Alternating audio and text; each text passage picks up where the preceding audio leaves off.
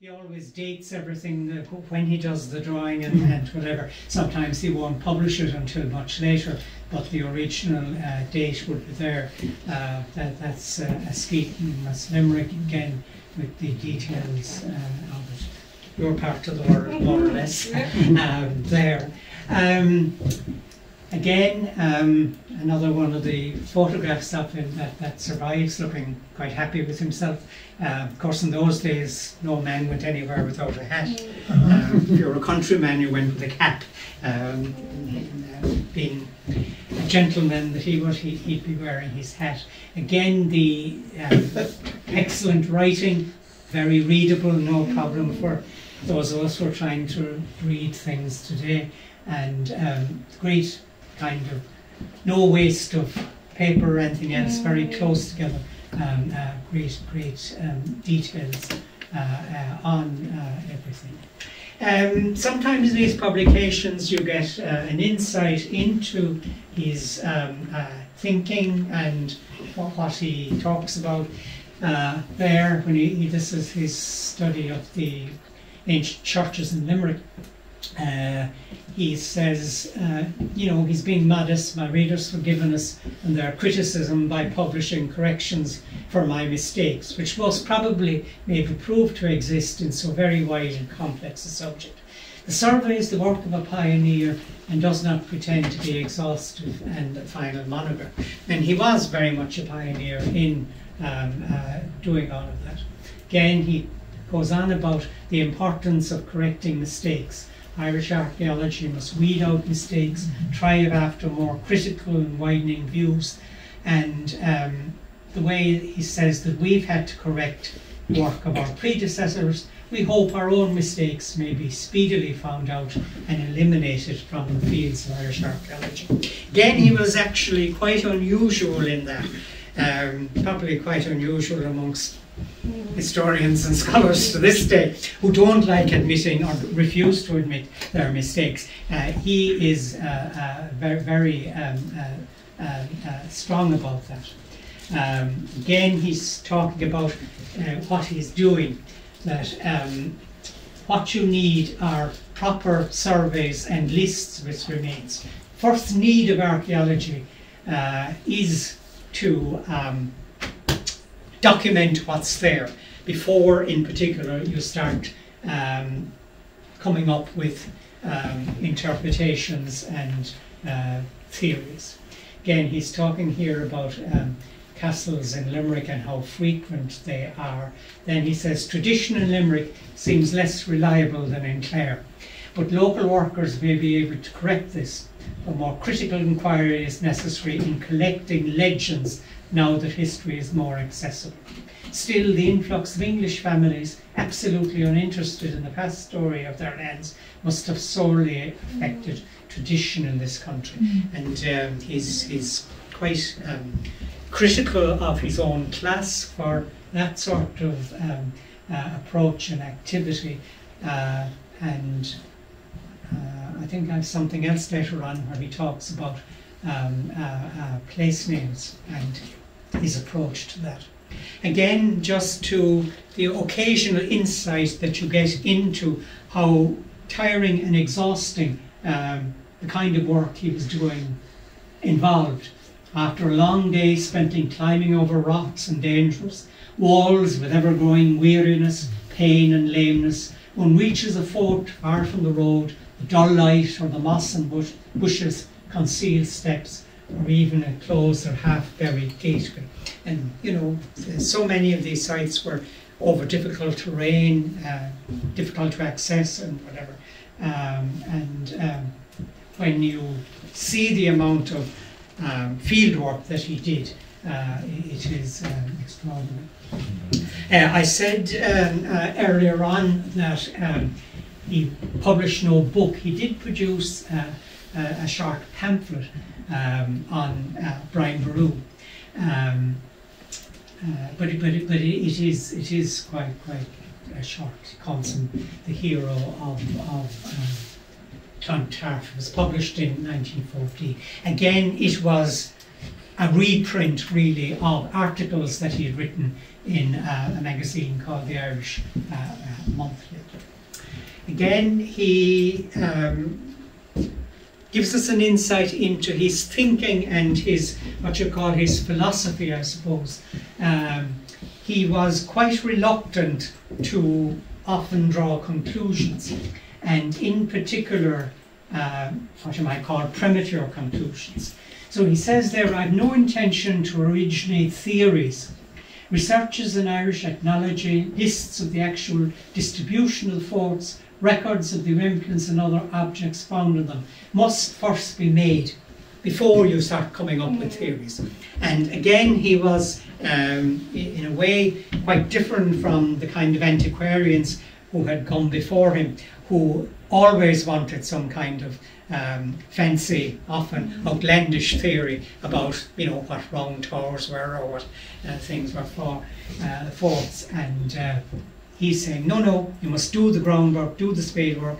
Once you've done that and have some evidence to go on, then you can start coming with, with a theory. Um, meanwhile, he often quotes from scripture as well. To be a seeker is to be of the best sect next to being a finder.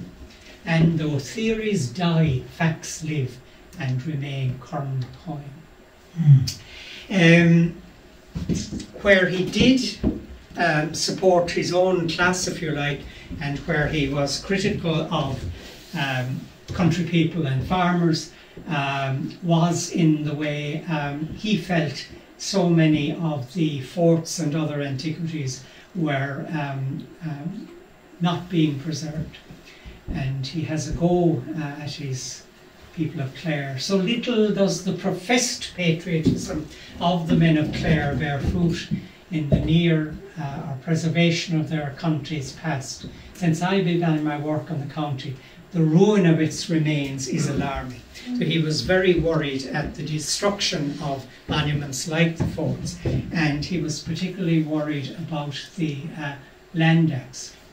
Um, he felt that um, the old landlords had uh, an, uh, an, appreciation for preserving castles or forts and whatever, and he worried now that the farmers were coming to own their lands, and from what he had seen of their approach, he felt that um, they wouldn't have the same uh, sense of duty to uh, protect them. Um, again, he was he used the work, of course, of the Ordnance Survey, particularly John O'Donovan.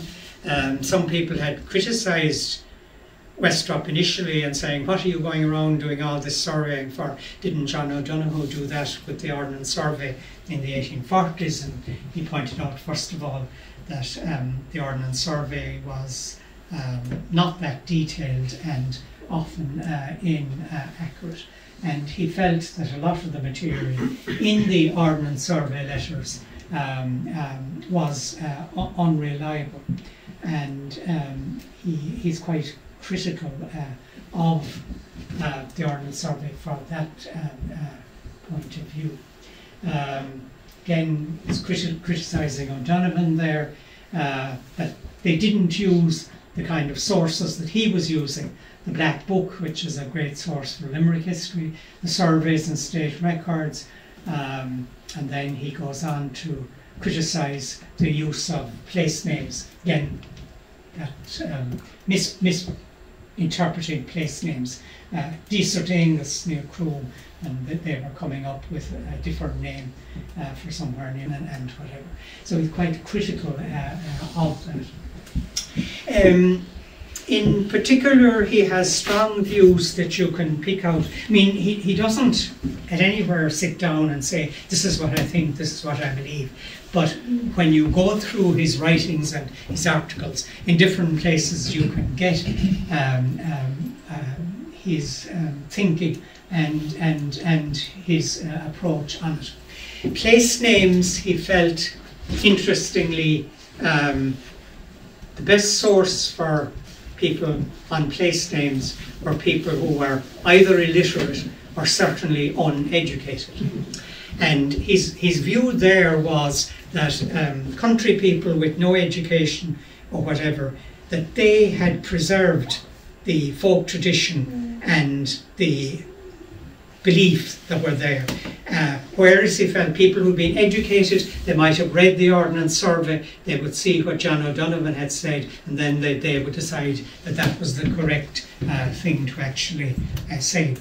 And, you know, in many ways, a very, a very sound approach that he, he was getting back through the generations. You know, somebody would say to him, "Oh, I remember my grandfather said that that was always called that and whatever." Mm. So he's quite, he's quite strong uh, uh, on that. Sorry, do you think he had a grasp of the Irish language? He doesn't seem to have had. He doesn't seem to have had, uh, and and it never appears um, in his publication, other than on things like saints' names and things like that.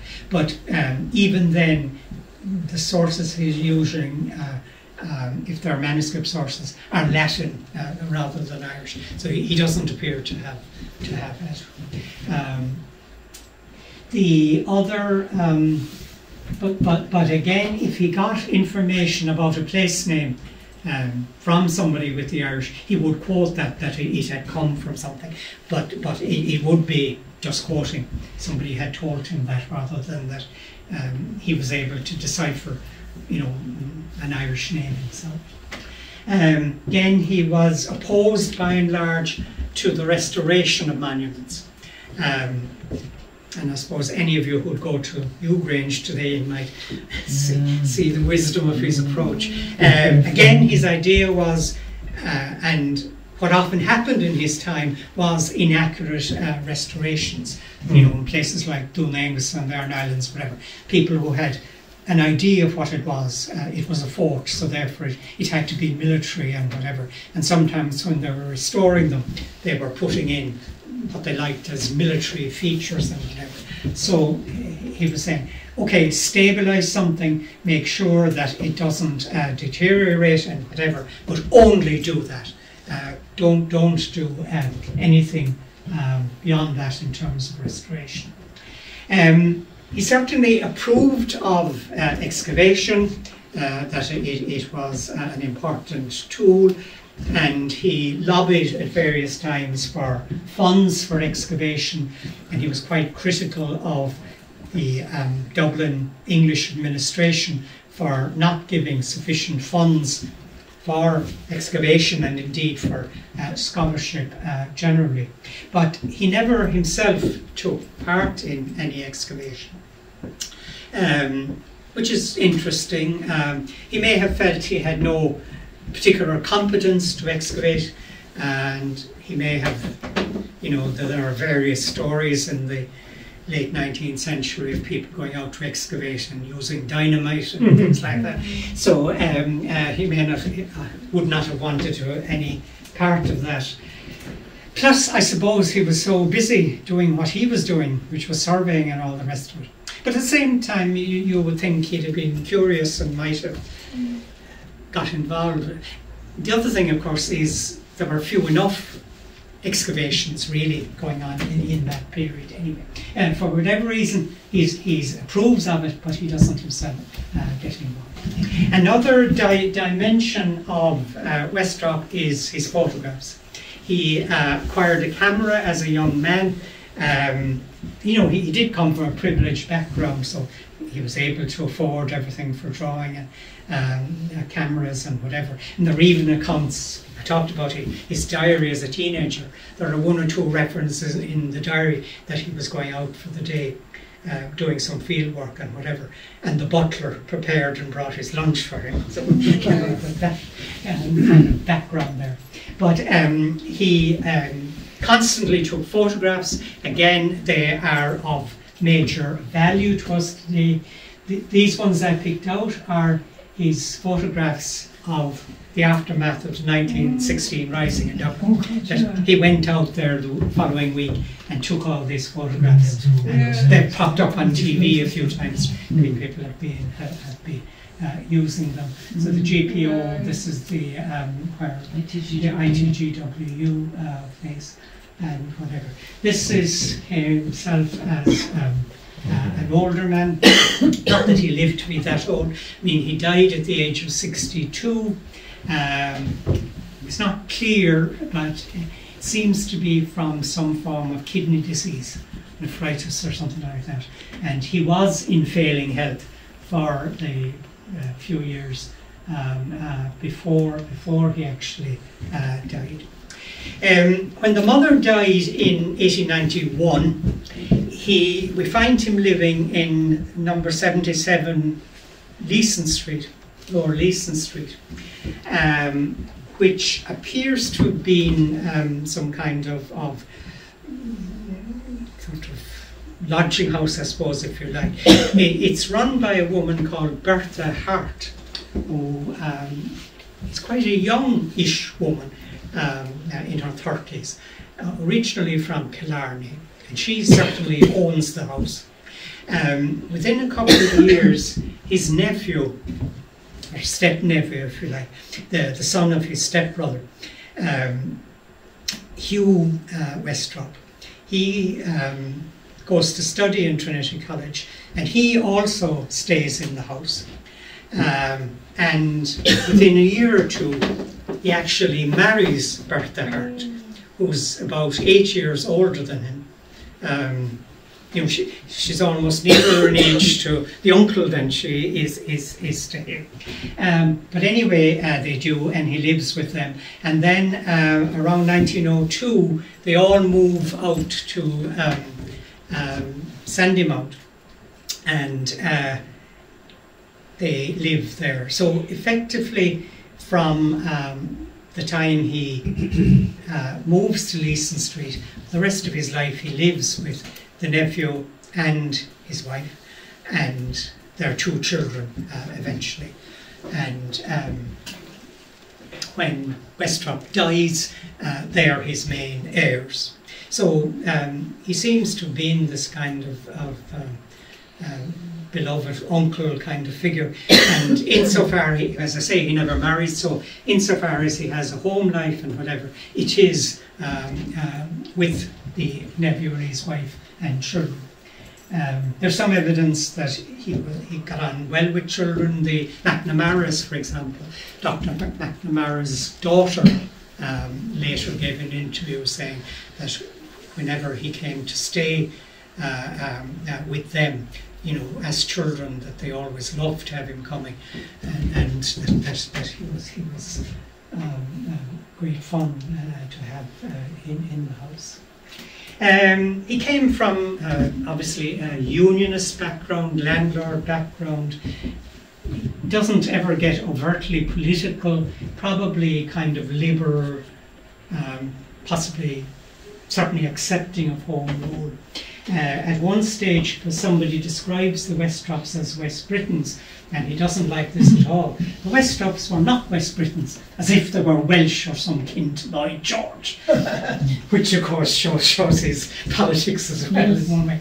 They were either Norse, to judge from their thick skulls, or more Irish than the McNamara's of Innistree. so there. Um, other places he talks about that he comes from, he's, he's one of the countrymen of Shakespeare and Milton, which again would, would show the kind of background. Uh, he was a Freemason uh, all his life. He's initiated into um, Lodge 143 in Dublin in June of 1892, and he does appear to have been an active Freemason because he becomes he, get, he has offices within it, the Worshipful Master in 1904 and again in 1917. This is a fairly, um, would you say, low grade within the Freemasons. He, he never rose, you know, to higher positions within, the Freemasons, so presumably he was on, only privy to some of their minor secrets or whatever. Again, it would it would have been very usual for somebody of his religion and background uh, to be involved with the Freemasons, um, you know, for charitable kind of activities um, uh. Uh, his last will and testament is interesting. Uh, as I said at the beginning, it shows he had quite uh, substantial assets, um, and he had eventually, when they moved to Sandymount, they um, they seemed to be renting the house, but eventually he bought it and uh, then uh, left it to the niece and whatever. Uh, I direct that my funeral shall be strictly private and conducted in the most inexpensive manner, and I shall be buried in the earth. After a doctor shall examine my body, pronounce life to be extinct. So um, there's a word for a fear of being buried alive. It's tachonomy or something, and uh, taphonymy, I think. Um, looks like he might have had that. Um, Or sense of humour I like around that. something. So it was, Would you have a sense of humour in your will? Maybe you would. Maybe he did. maybe, who- well, you've been trying to get a sense of his personality yourself too. I don't know, I'm I don't know. just throwing it out there, no yeah, idea. Yeah, yeah, it's curious anyway. Um, he said then, I wish only a plain tombstone or a Celtic cross with a simple Mm. inscription. I wish to be buried near my dear mother at Kilpeacon Church. Yeah. Uh, this is Kilpeacon Church, and that, that is the family vault. Mm. Um, that was the nearest Church of Ireland church to Attyflin, and it, it's where his father was buried. There's a stained glass window in the church to the father, and um, the mother. Um, one assumes almost certainly uh, that she's buried in the tomb. Now, when he says then he wants to be near her, it suggests that he doesn't want to go into the tomb, Mm. but that, that he wants a grave in the ground uh, nearby. And um, that the inscription on the, on the um, tomb uh, is to just his father. There's no mention of the mother or uh, him. And the Shannon uh, Historical and Archaeological Society uh, last year, for the centenary, uh, they erected a plaque uh, on, on the um, tomb there in memory of Westropp. Uh, very nice plaque, and you describe him very nicely. Antiquarian, artist, and photographer, which does, you know, um, encapsulate uh, some of the central features of his life that I, I've been trying to convey to you. Uh, who devoted his life to recording uh, Ireland's uh, uh, uh, antiquities.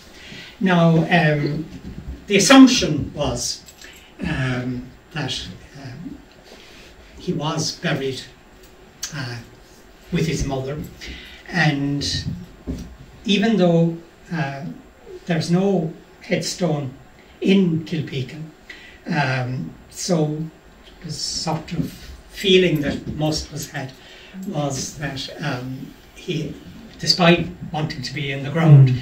that they actually put him into the um, uh, tomb uh, with, with, with his mother. But um, can I blow my own trumpet here?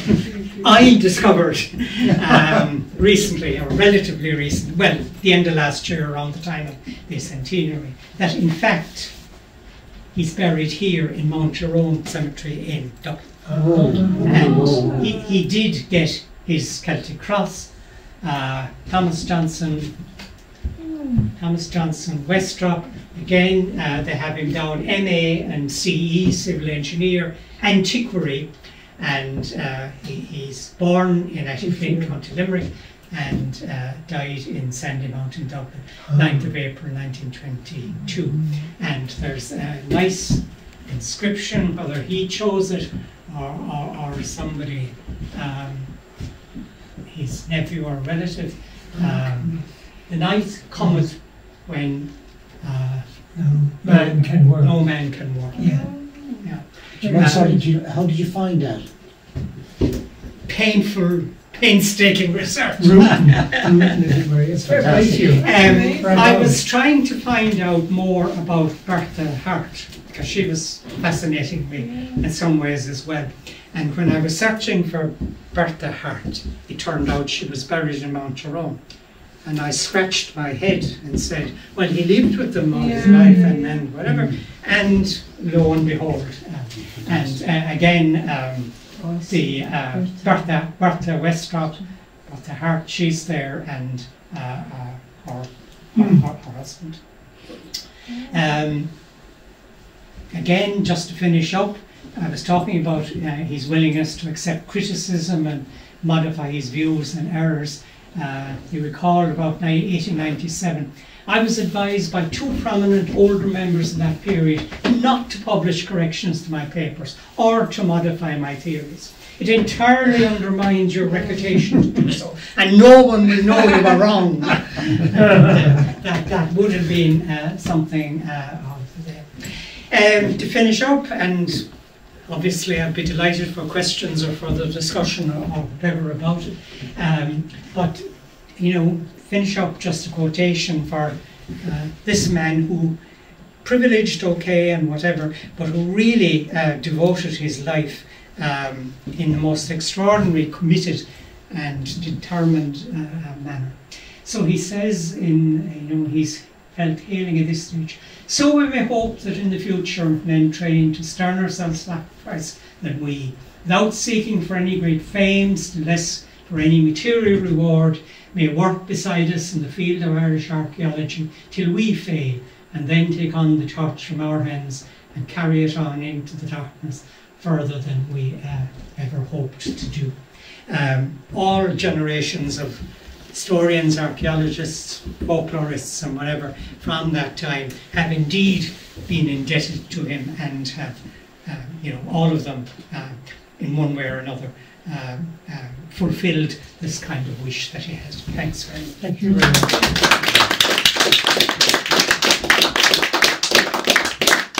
I'm always trying to stop myself going on too long, but anyway. I'm sure an illustration of him in a dress. Uh, when he was uh, such an age. And I didn't know it was in the, what they call them, the upper classes. Hmm, But it was quite common among uh, the less well off Yes, to keep a boys in, in, get- in dresses. It Yes. was said to, to confuse the fairies. yes, Yes. that's right. Oh, yeah, that's Yeah. right. As well, uh, another thing, uh, being a, a farmer, I was a farmer until life. I'm not in probably the best to shoot these days, but Mm. anyway. Mhm. Uh, I think a lot of uh, uh, monuments that ha- ha- were left were, were are again due to the fairies because Yeah, they indeed. were to touch Yeah, them. yeah, They're actually among As, as soon as we stop believing in fairies as well as God uh, in Ireland, um, it had. Um, I suppose the worst destruction really was in the 60s and 70s when, you know, the EU came in and Yeah. farmers were expanding and, you know, that. But that still, to this I think they have a bit uh, more. Well, with reps and all these things now, it pays them not to be knocking ringforts and things, doesn't it? Me and the farmers uh, myself, as I said. Mm. But uh, my father warned me there's a mound there, don't touch that. Don't touch it, yeah. And I didn't touch it, but and my, I've told my son the same thing, leave it, because if, if you're at the, the rest of your farm, And will they listen to you? Yeah, I think he will. Ah, good, good, yeah. It has a bit of a Yeah. No, I, I think I think younger farmers really, um, you know, uh, they're, they're happy enough just to knock ditches and Yeah. do all the other things. Uh, I think they're more To leave inclined to lead to leave things now. And as I say, with the rep scheme and whatever, um, you know, there's more awareness of the environment and all the rest of it. So, I'm, so I think the worst is over in in terms of loss of. I'm, I'm wondering too, Yeah. from my mother's home area of Ballinderry in Kinvara, that uh, my impression that I formed, a bit like what you're saying, the, the sense of what people locally would say about these places, Mhm. the fairies and all that, that the ancient old ones, going back maybe to the 16th century, the old forts, and that's the old ring forts and that, maybe because that's like a mysterious past, and maybe the more recent things that associated more with the Normans and medieval, Mhm. maybe they, they were a bit more open to knocking them, 'cause there wasn't the mystery Yes. and the power of ancient Ireland Mm, about yeah. them. I wonder is that a factor? Yeah. There isn't a No, reverence for those so much. yeah. As far as getting a bit of handy stone off that, that, isn't it got fine stone in it too, kind of thing? Mm, And rob some some castle yoke there on their land, you know, some building on their land. Um, Liam, uh, just a couple of things. One is that there's there'll be a drop of tea afterwards, and there's a donation box outside if anyone would like to throw in a couple of bob to X-PO. Mhm. But uh, I think we're extremely lucky to have had you tonight. It's a rare thing to have a talk about Westropp, so thanks very much indeed. And one question, that is, Nick, you might help me with this question. It's about, you said to me once that he stayed Westropp in a house in Octara, was it? Dara, yes. Mhm. Uh, as you drive down, you go down a long hill, I don't know if you know it, into Octara, Mm, and the old ruined church of the Yes, Killeen okay, ahead. right. There's a turn left, and there's an old house in there. And he Oh. apparently, when he was doing that area, he stayed in that house. Ah, yeah. Um, yeah. I forgot I can't think of the name of the people. Mm, who- right. Yeah. What area That's is very that? interesting. Dara? Octara. Um, Ballinamachin. Yeah, 'cause it sounds familiar. Yeah, that's interesting. And you know, he may have had. Now, of course, let's say he stayed with the sisters, uh, Mrs. Stacpoole in, in um, uh, Edenvale, and and Miss Mahan and Tulla as well when he would have been doing uh, other parts of it, and of course with Dr. McNamara. He, he also there was um, a Dr. Stacpoole, uh, or Yeah, Dr. Willie Well, Stacpoole in Stackpole, Lisbon. Liston Barn, He it was seems to 18 be. when he, when he visited It him. could be Yes. And he, at that time, he was going to, he was on the promontory course were in his head Ah, right. before he entered Tr- Trinity. And, Interesting, and yeah. Willie Stacpoole said, you're going out to do, to, to Donegal, mhm. doing it. He says, you may as well go as far, do the whole trip to Aran. And when he saw Dun Aengus, that was an epiphany point, Right. a tipping point. Fascinating. And that's yeah. what put him on, put him on the, the, the yeah. journey Yeah. that he continued to his, to the end. But it- it's amazing how-. How little is spoken in Mm. this, in this area Mm. about the father of modern archaeology. Right. yeah. Nobody wants to know about Westropp. Mm. And he's huge in American academia. Mm. But I never hear a word about him here. Never. Yeah. We had his photo, we had his first uh, Mm. camera Right. up in the Bowling Centre. Yeah. And we had some originals of his sketches and drawings. Yeah. Because his engineering Yeah, training yeah. helped him very much to be, Yeah. as you pointed out there on his Yeah. drawings, to be exact and measured. Yeah. He, he was trained in that. Are you the only place that has anywhere named after him even? No place. Yeah. Do you think it's partly something to do with that kind of English landlord background or something? The, the new free state kind of Mm. Yeah. into the, Yeah. the people shun. Yeah. There's no like biography Celebrating, written yeah. of him, no documentary film, you know, it's Mm, kind of uh, it's mm. almost cancelled, like, you know. Mm. But in, in terms of Yeah. Oughtdarra, he said something really fascinating. There's a Killeen or unbaptized babies burial ground in Oughtdarra, just beside where we're staying, and he said only children less than seven years old, unbaptized, were buried in it. And that's remarkable that if that is true, what he said, it's what I've ever come across, the distinction of children under seven. Uh, mm. Age of Reason or something. Yeah, was it? yeah, I suppose, absolutely, isn't yeah, that? yeah. Communion as well. Yeah. Yeah. yeah. In, in that same area, actually, when you mentioned his his his, his recognition of the, the value of the local lore, the local names for places, Mhm. in that same area, a place I've fished for years. It's near Ballinlacken on the way to Fanore. And I've always known it as Ballyreen on the map. And I forget now, is it in Tim, Ro- on Tim Robinson's and the other Ballyryan, survey? probably. It's Ballyryan. And it's puzzled me and intrigued me since years. Like, what's going on there? Ryan and Reen. Yeah. Really would be the Irish. Yeah, but would Reen be Reen. Ryan? Yeah. Orion. would be Oh, right, one. yeah, because I, don't, I Ryan, grew up in yeah. Sutton, I didn't realise. Well, that would explain it. Point. Well, it's nice in, in Irish. Ring, ring the spot. Orion or Orion, yeah. Okay, it's as simple as that. Yeah. Thanks for enlightening me. You you were saying that the, mo- the mother was an amateur artist. Is there any writing or sketches left by left behind by her? Uh, I think um, George Stacpoole, the um, um, antique dealer in, in Limerick, um, he has a lot of stack, uh, of Westropp stuff, and I, I think he has some sketches uh, by her. But uh, I mean, it, it was very much the activity of um, Victorian women. of a, Yeah. Victorian women, yeah. Yeah. exactly, yeah, yeah, to do that.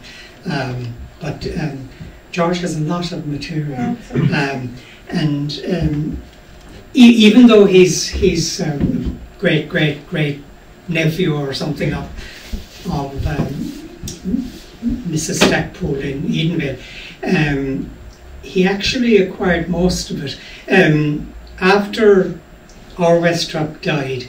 Um, the um, two um, uh, nephews, grandnephews, we'll, we'll say the nephew that he lived with, um, they had two sons and, and whatever. And one of them went to Australia, another one was, was um, a doctor, I think, in Dublin.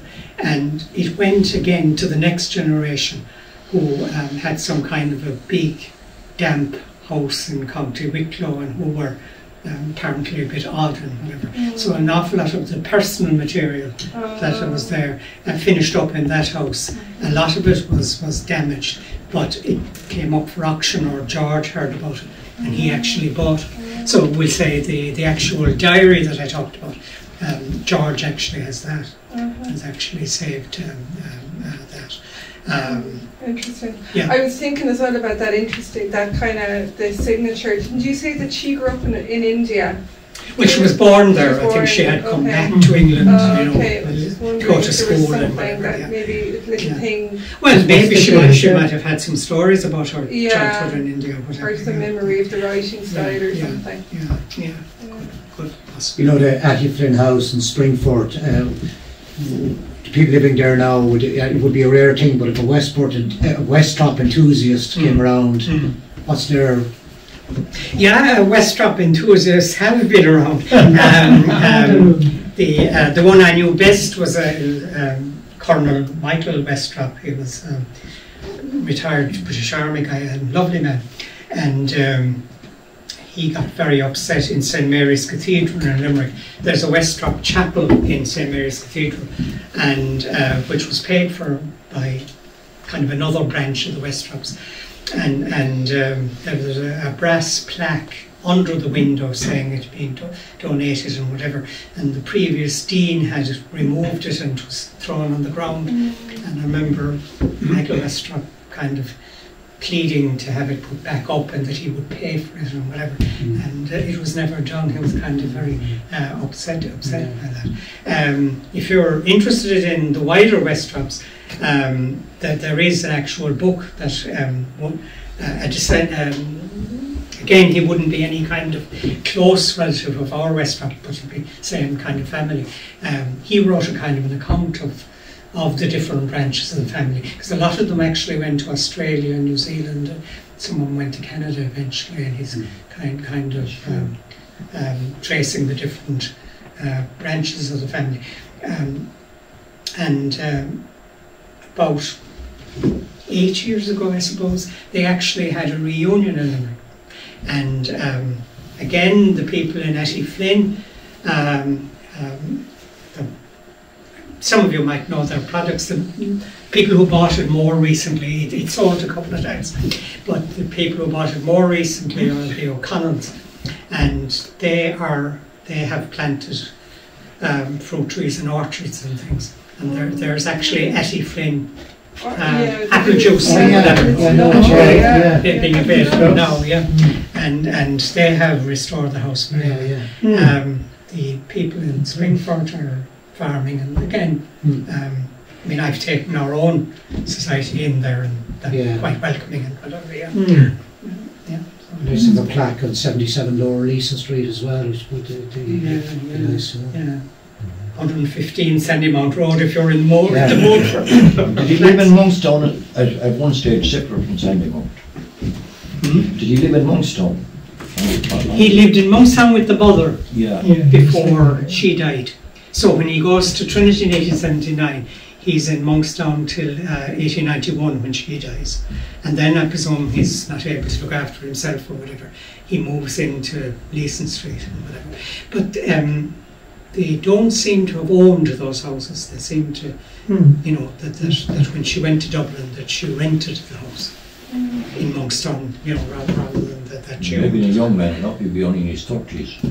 His mother died. Yeah, yeah, younger, Yeah. even, yeah, yeah, yeah, yeah, yeah. And why were you so fascinated with Bertha Hart then? What got you into I was just in, intrigued, um, Yeah. um, um, you know, um, why, how a relatively young woman had this big, biggish house in, and and uh, um, she seems to have been, you know, um, fairly well off.